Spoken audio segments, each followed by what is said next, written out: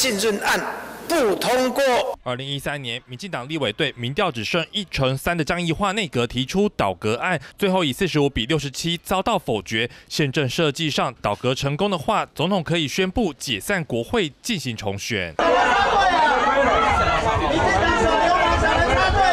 蓝白联手硬闯国会无法，不满民众提问该如何反制？如果要总统解散国会，前提是立法院提出对内阁不信任案，但蓝白不可能政治自杀。不过府院仍有反制的方法。你这个法律案就算过了，行政机关有很多的疑义，那很多的东西是要去处理的啊，那他可以听申请视线，然后。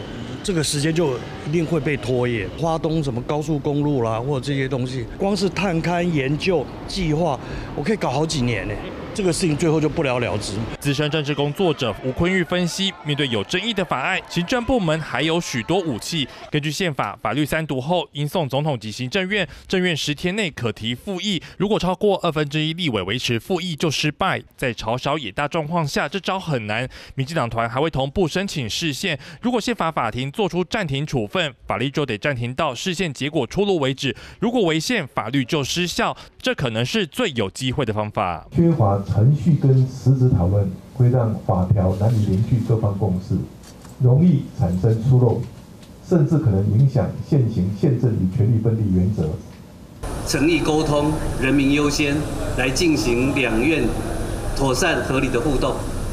但是我也希望是互相的包容，互相的尊重。视察苏花公路下清水桥修复进度，行政院长卓荣泰对是否提复议不松口。根据了解，府院倾向不跟国会直接对抗，将透过视线途径。对赖政府来说，努力拼施政，做出成绩，争取人民支持，或许就是最大武器。三十环节热播台北采访到。